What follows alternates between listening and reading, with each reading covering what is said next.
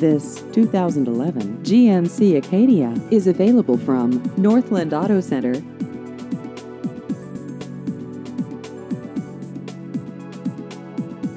This vehicle has just over 81,000 miles.